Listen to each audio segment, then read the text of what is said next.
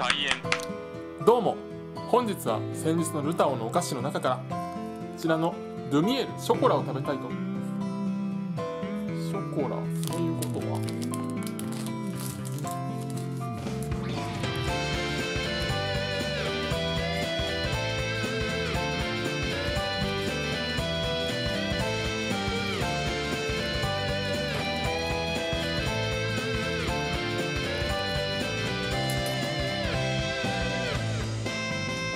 ではいただきます。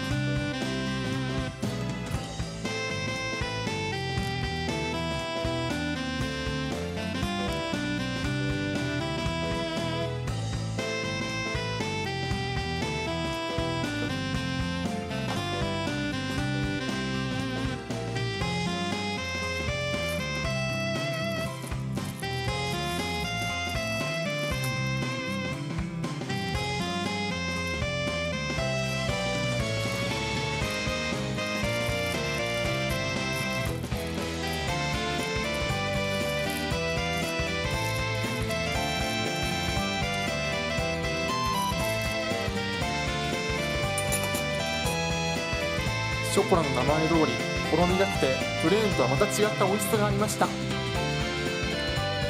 ご視聴ありがとうございました。コメントしていただけると嬉しいです。チャンネル登録をお願いします。